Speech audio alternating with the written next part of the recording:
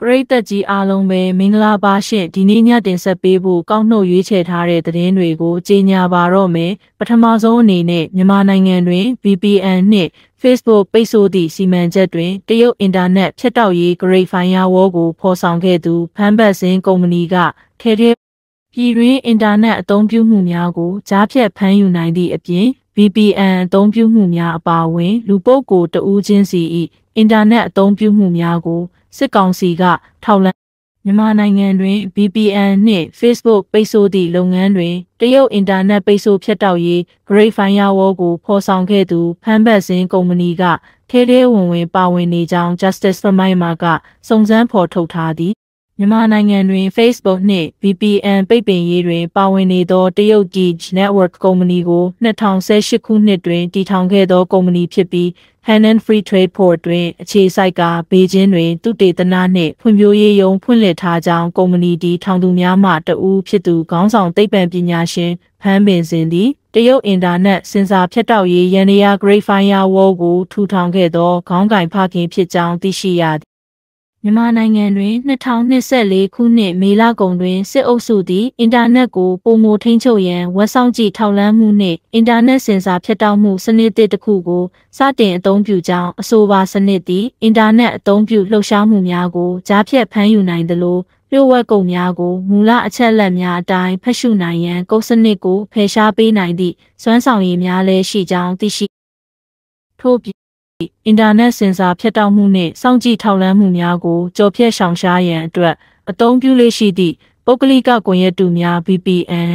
အပါအဝင် application များနှင့် website များကိုပိတ်ပင်နိုင်စွမ်းရှိကြောင်းအဆိုပါစနစ်သည် VPN အသုံးပြုမှုများအပါအဝင်အင်တာနက်ပေါ်ရှိ လူပုဂ္ဂိုလ်တဦးချင်း၏ကွန်ရက် application များအသုံးပြုနေမှုများကိုလည်းစောင့်ကြည့်ထောက်လှမ်းနိုင်စွမ်းရှိကြောင်းအဆိုပါစောင့်ကြည့်ထောက်လှမ်းစနစ်ကိုအသုံးပြု၍နောက်ထပ်သော မတရားဖမ်းဆီးမှုများရှိလာမည်လည်းဖြစ်ကြောင်းသိရှိရသည်စစ်နေသည့်အဆိုပါစနစ်တစ်သည်ချင်းစကီနှင့်ဂျီနဝက်ဟုလည်းသိကြသည့်တရုတ်ပုဂ္ဂလိကကွန်ရက်လုံခြုံရေးထောက်လှမ်းရေးကိရိယာနှင့်ဝန်ဆောင်မှုကုမ္ပဏီချင်းရှိ Hainan Information Technology Company Limited Cybernera တို့ကိုအသုံးပြုထားကြောင်းသိရဒီအင်တာနက်စောင့်ကြည့်ထောက်လှမ်းမှုနှင့်စင်ဆာဖြတ်တောက်မှုဆိုင်ရာထုတ်ကုန်ပစ္စည်းတစ်ခုဖြစ်ကြောင်း Gnetwork website တွင် TSG သည်ကိုယ့်ရဲ့အသုံးပြုအသွာလာများအပေါ်တွင်အသေးစိတ်ငွေနှောက်စစ်ဆေးမှု deep packet inspection ကိုလှုပ်ဆောင်ပေးပြီး stain based analysis engine ကိုအသုံးပြုကာအကြောင်းအရာများကိုအမျိုးအစားခွဲပေးနိုင်သည့်အပြင်ရိုးရှင်း၍ဗတ်စုံလုံးကြုံရေးဆိုင်ရာဝန်ဆောင်မှုကိုလည်းပေးအပ်နိုင်သည်ဟုဖော်ပြထားသည်များတွင် secure sockets layer စုံနှင့် transport layer security task ကိုဝက်လုံထုံးလုံနည်းများဖြင့်ကိုဝက်ထားသည့်စာဘာနှင့်သုံးစွဲသူများအကြားအသုံးပြုမှုအသွာလာများကိုကုတ်ဖြည့်ခြင်းစစ်ဆေးခြင်းစသည့်ဖော်ထုတ်လှုပ်ဆောင်နိုင်စွမ်းများလည်းပါဝင်သည်လှုပ်ဆောင်သည့်နည်းလမ်းတစ်ခုအဖြစ်ရင်းသည် website များရှိလုံခြုံရေးအတားအဆီးများကိုစောင့်ကြည့်ခြင်းနှင့်ကြော်ခွာခြင်းတို့ကိုလည်းလှုပ်ဆောင်နိုင်သည်ကုတ်ဖြည့်ခြင်းမလှုပ်ဆောင်နိုင်သည့်အခြေအနေများတွင်ပင်အဆိုပါစနစ်သည်အသုံးပြသူသူများ၏ မီတာဒေတာများကိုရယူနိုင်စွမ်းနှင့်အွန်လိုင်းပြုမှုများကို ခွဲခြမ်းသုံးသပ်စီစစ်နိုင်စွမ်းများရှိနေကြောင်းသိရှိရသည် DSG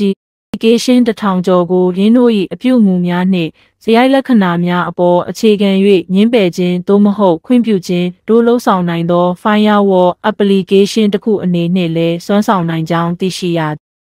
စိုက်ပါနာရေးတာသည်အင်တာနက်အသွားလာကိုစောင့်ကြည့်ခွဲခြင်းစိတ်ဖြာ၍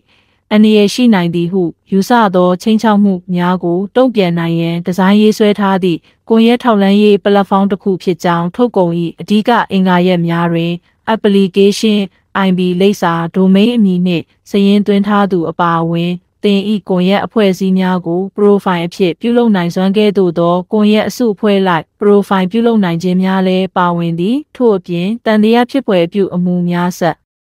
ဆက်ဖြစ်ရများ metric များနှင့်အဖွဲ့အစည်းဆက်ဆံရေးများကဲ့သို့သောအစုအဖွဲ့လိုက်စုံစမ်းစစ်ဆေးမှုများအတွက်လုံလောက်သည့်စွမ်းဆောင်ရည်များလည်းပါရှိကြောင်းအနေရများသောလုံခြုံရေးဆိုင်ရာအသုံးပြုမှုတစ်ခုအဖြစ် VPN အသုံးပြုမှုတစ်ခုချင်းစီကိုခွဲခြားဖော်ထုတ်ခြင်းအပေါ်ညွှန်းဆိုထားကြောင်းသိရှိရပခုတ်ကူကိန်းမှပြူစောထီးနှစ်ဦးကိုဖမ်းဆီးရရှိခဲ့ပြီးစစ်ဆေးနေစဉ်ခုခံထွက်ပြေးသဖြင့်ပြစ်ခတ်ဖမ်းဆီးရာမှသေ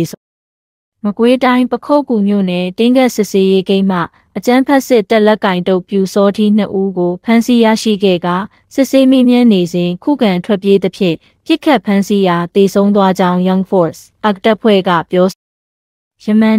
16ရက်နေ့ပခုတ်ကူမြို့နယ်တင်းကက်စစ်တပ်ဂိတ်စခန်းတွင်ပြည်သူအပါလက်နက်ပြချင်းချောင်းငွေညစ်ရာအလွန်ဆိုးရွားသူများဖြစ်သည့်ပြူစောထီးနှစ်ဦးကို အရှင်ဖမ်းဆီးရရှိခဲ့ကြောင်းထို့သို့ဖမ်းဆီးပြီးစစ်တုံးပန်းဥပဒေနှင့်အညီစစ်ဆေးမေးမြန်းနေစဉ်ပြည်သူ့ကာကွယ်ရေးတပ်ဖွဲ့ဝင်ရဲဘော်များထံမှလက်နက်လူယူထွက်ပြေးရန်စ조사သဖြင့်ပြစ်ခတ်ဖမ်းဆီးခဲ့ရာတေဆုံးသွားခဲ့ကြောင်းသိရ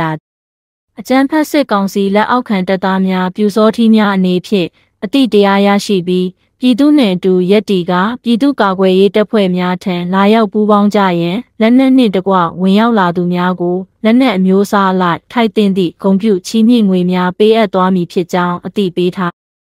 စစ်ကောင် ကြစားနပ်ရိက္ခာဝယ်ယူပေးခြင်းတည်ယူပေးခြင်းစသည့်လှုပ်ဆောင်ပေးနေသူများကိုလည်းထောက်တိုင်ဖြစ်သတ်မှတ်၍ပြက်ပြက်သားသားအရေးယူသွားမည်ဖြစ်ကြောင်းထုတ်ပြန်ပြောဆိုထားသည့်မင်းကင်းမြို့နယ်ကံရွာရှိစစ်တပ်စခန်းကိုတိုက်ခိုက်သိမ်းပိုက်မှုစစ်ကောင်စီတပ်သား၄ဦးသေဆုံးပြီးလက်နက်ခဲယမ်းများတင်ဆက်ရရှိ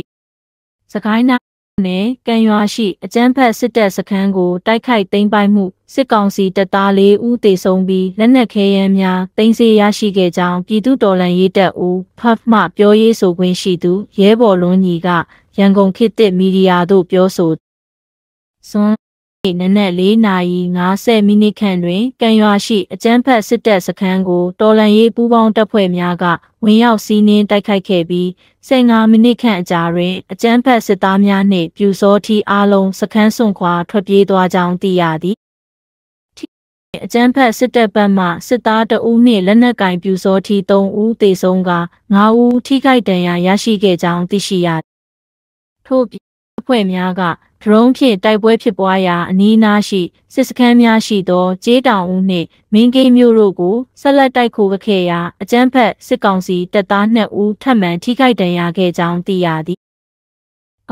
နဲ့ပစ္စည်းကိုပါသိမ့်ပိုက်နိုင်အောင်တိုက်ပွဲဆင်နိုင်ဖို့တလရာကြာအောင်အချိန်ယူခဲ့တယ်။တူတာတွဲလုပ်ဖို့အတွက်မတူတာညှိနှိုင်းရတဲ့ဆွေးနွေးမှုတွေစုဖွဲ့လေးချင်းမှုတွေတိုက်ပွဲတွင်အမိန့်နာခံမှုအားကောင်းဖို့ပါပြင်ဆင်ခဲ့ပါတယ်။အဲ့ဒီရွာကပြူရွာဆိုပေမဲ့စစ်သားအများစုရှိကြတယ်။တက်ကြက်ကြီးအဆင့်လဲထိုင်ထားတယ်။အဲ့ဒီပွဲမှာပဲတက်ကြက်ကြီးတဦးထိတယ်လို့သိရတယ်။တေသလားရှင်သလားတော့တေချာမသိရဘူး။ အဲ့ဒီအနီးနားတဝိုက်မှာပြူရွာတွေပတ်လည်ရှိတာဆိုတော့အဲ့ဒီဘက်ကိုထွက်ပြေးကြတယ်။အဲ့ဒီအနား